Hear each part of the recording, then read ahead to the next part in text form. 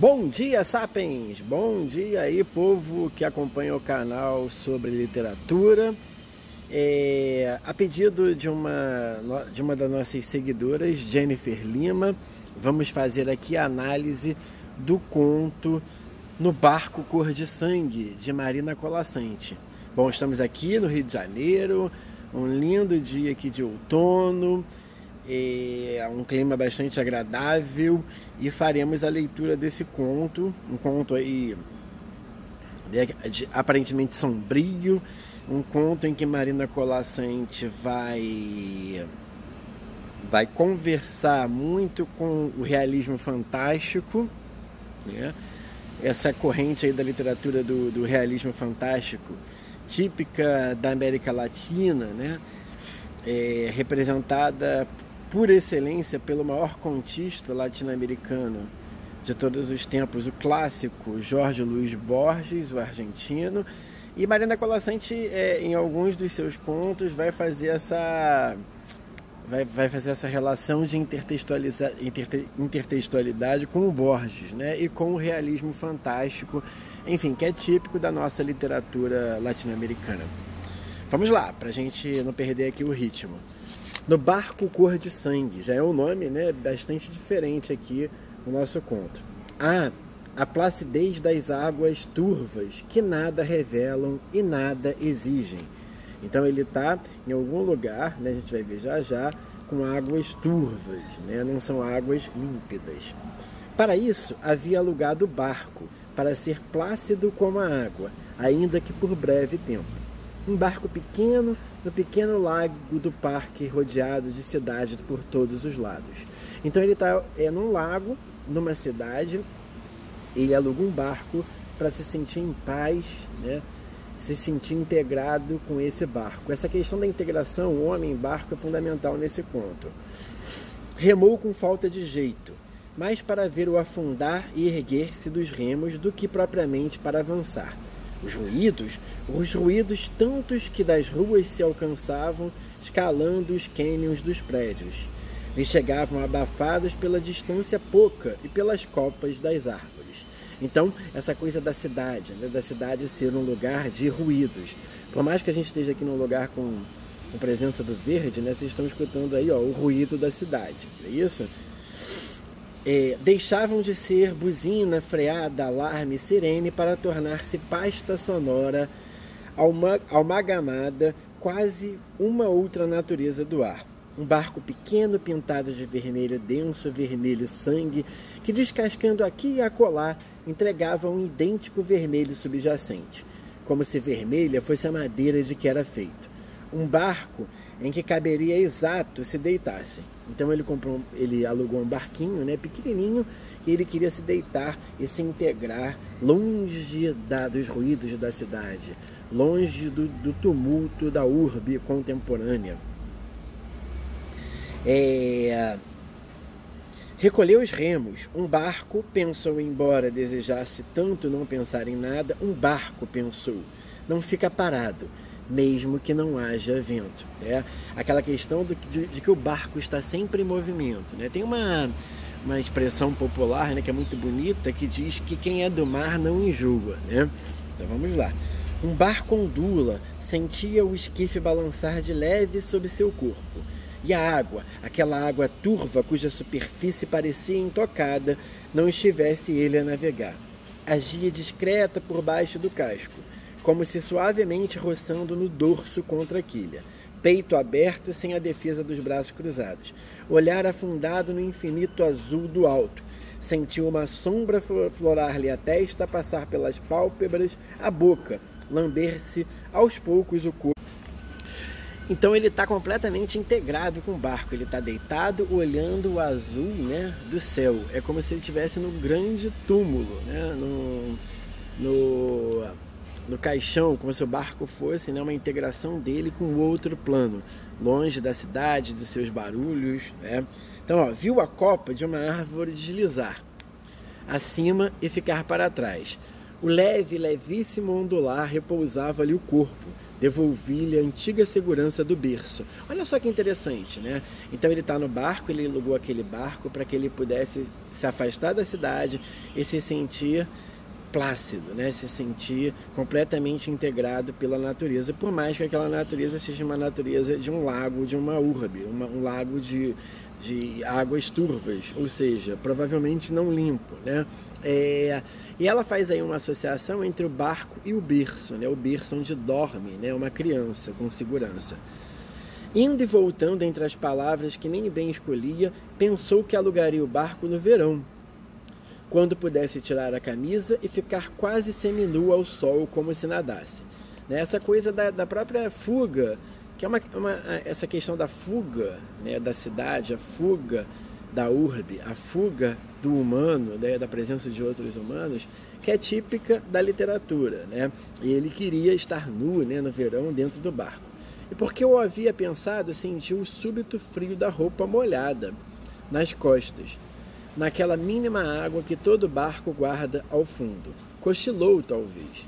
Certamente fechou os olhos. Da pasta de sons, uma sirene destacou-se aguda. Barco pareceu estremecer. Abriu os olhos. Sem pressa, perguntou-se onde estaria, se próximo ou distante de onde havia embarcado.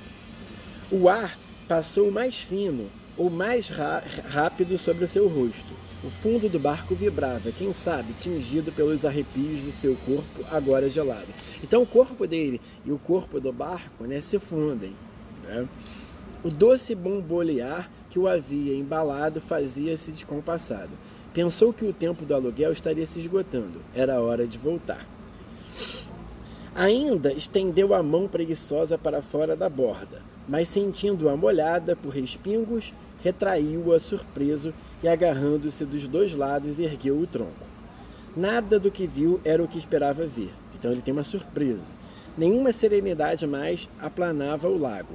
Se lago era aquele em que o barco ia à deriva, flancos apertados pela água escura que se acavalava com correnteza e espuma, estilhaçando-se contra as rochas das margens, avançando cada vez mais voraz até onde o olhar alcançava. Então ele está num lugar completamente diferente da placidez, da calma daquele é, lago que ele é, começou a sua viagem. Olhou para trás procurando o embarcadouro, outros barcos iguais aos seus, a ponte vagamente japonesa que ligava a beira cimentada à ilhota artificial. Os elementos todos que o haviam levado a alugar esse barco, a deitar-se no fundo do esquife, cor de sangue, busca da placidez. Distante ou perdida estava aquela realidade. Ele estava em outro lugar. A gente ainda não sabe aqui. Né? A sombra de uma copa deslizou veloz sobre seu rosto lívido. A boca contraída não conseguiu articular as palavras de medo. Um rugido surdo havia se acrescentado aos sons da mata que subiam entre os troncos. Então agora ele está num lugar com matas, troncos, totalmente longe da cidade. E o rugido lhe dizia que à frente, onde as rápidas se faziam mais intensas, uma cachoeira o aguardava. É. Então ele está indo a caminho de uma cachoeira, a caminho de um abismo, num lugar completamente diferente daquele lugar seguro seguro, né? Que era o lago e com seu entorno a cidade. Então aí nós temos é, uma ligação a priori que é típica da literatura, que é né, a questão dual entre a cidade, a cidade agitada, a cidade do progresso, a cidade dos barulhos, a natureza, mesmo que essa natureza seja artificial, como um lago no meio de uma cidade, um parque no meio de uma cidade, né? Parque do Ibirapuera em São Paulo, né? É, o, famoso lago em Brasília. Então, mesmo que esses ambientes, a própria floresta da Tijuca, maior floresta urbana do mundo, que ela foi replantada, né? É, Dom Pedro II manda replantá-la no século XIX, porque a floresta da Tijuca tinha virado um cafezal é, e ele manda replantar a, a, a mata né, atlântica, então não deixa de ser uma floresta artificial nesse sentido. É, então, essa relação entre a tensão da cidade e a calma desses ambientes dentro da cidade, mesmo que artificiais.